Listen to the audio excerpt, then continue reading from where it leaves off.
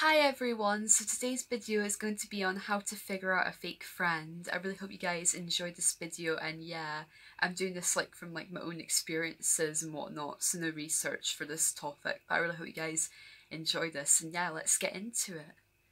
Well, one thing they do, like for example, you may tell them a secret, however big or small, and then they say, oh I promise I'll keep that secret, but no, they'll go around telling people.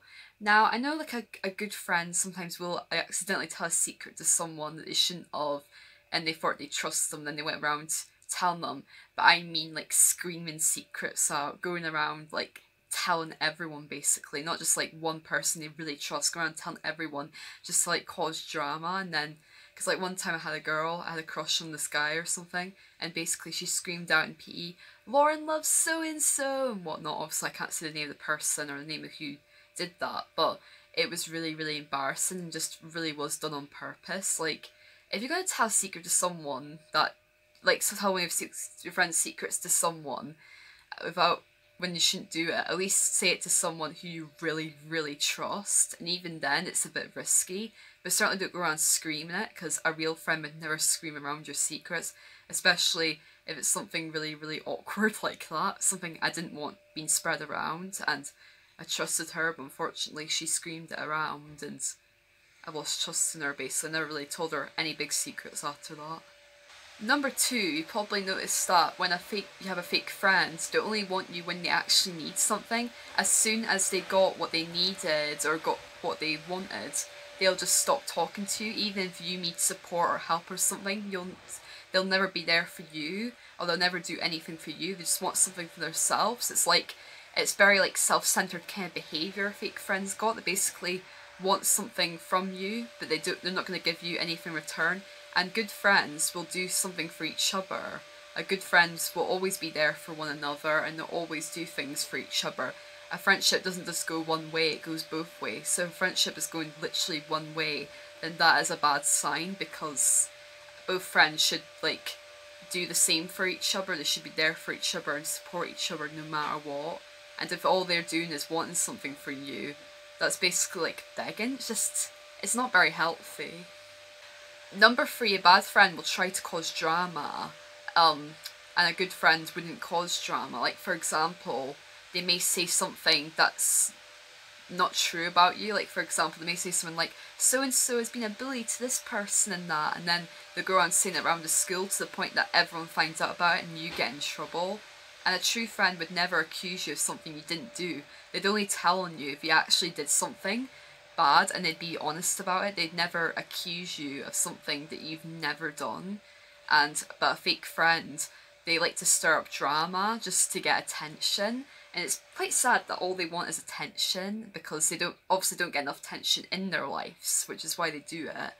But it makes their friend feel really bad in the end. And obviously but they won't feel bad about it because a true friend, if they stirred up drama by accident and realised that it really hurt them and took the wrong way, they'd feel upset. A fake friend won't feel upset about it. They'll just think it's hilarious and all that. And that's not true friend. You don't want a friend going around stirring around drama because a true friend would never do that.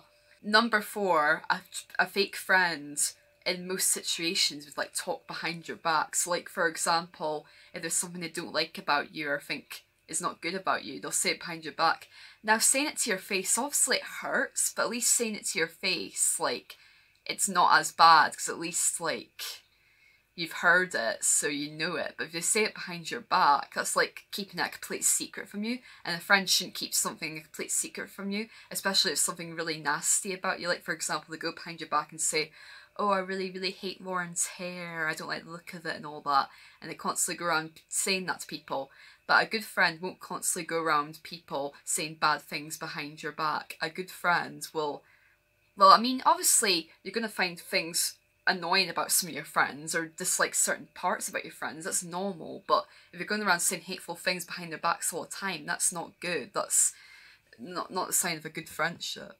A good friend will never say bad things behind your back. And they certainly wouldn't do it like all the time, like to everyone they're around. So yeah, it's a big bad warning sign. They're constantly saying bad things behind your back without knowing.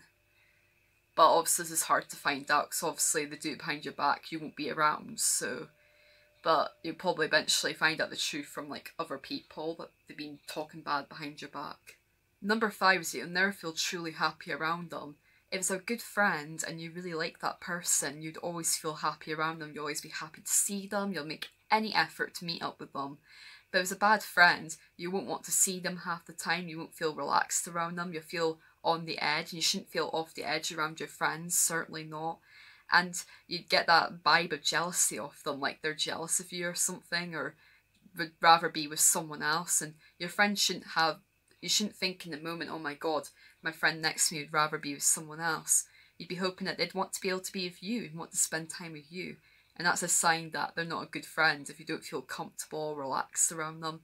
Obviously, if you're an intense person and get nervous around people, that's normal, but if you're like feeling like really uncomfortable and really unsettling to the point that you're not even having fun with them, you're not even enjoying yourself, you're not even happy to see them anymore, that's a warning sign that it's not a good friend because they're not making you feel relaxed, not making you feel happy, they're basically not making you feel anything. And a good friend should make you happy, like most of the time at least.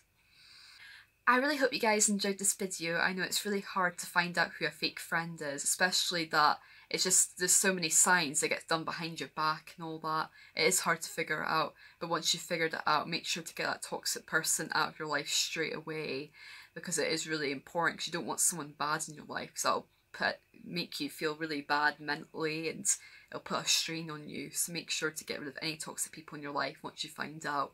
But yeah, I really hope you guys enjoyed this video and I'll be back for a tutorial on the Wednesday. So bye for now.